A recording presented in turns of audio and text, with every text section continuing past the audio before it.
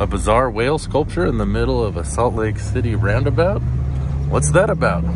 Let's find out today on Jason's Life in Five.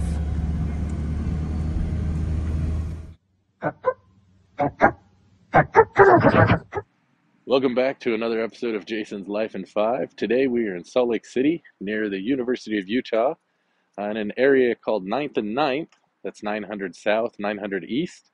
Uh, kind of an eclectic area known for kind of an artsy scene. And we are checking out this new sculpture they have installed a day or two ago in the middle of the roundabout. It is a whale that is life size coming out of the ground.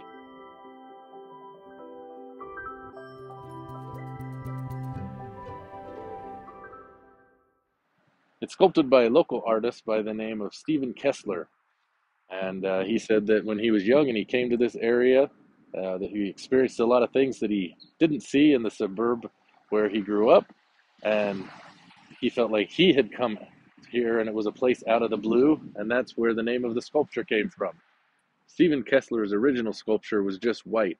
They brought in another artist who painted the mural.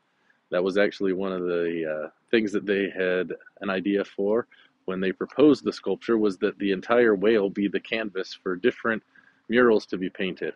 And so the entire whale was painted by this other artist. And um, I guess every couple years it'll be repainted into something new.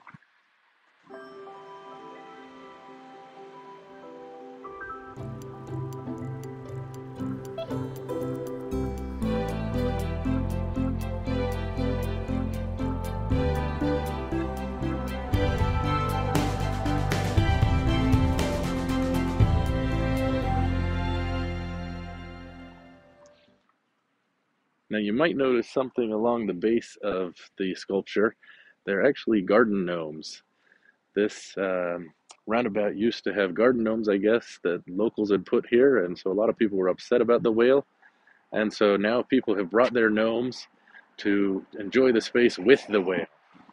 So kind of a neat compromise, and uh, certainly an interesting thing to see in the middle of a neighborhood in Salt Lake City because when you think of Salt Lake, you certainly do not think of whales, I would think.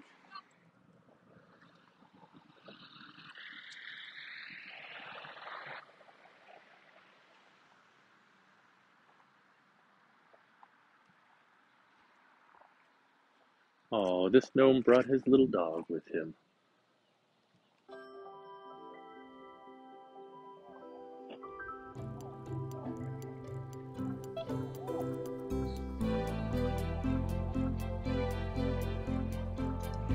Well, it looks like the sun is starting to set on this adventure.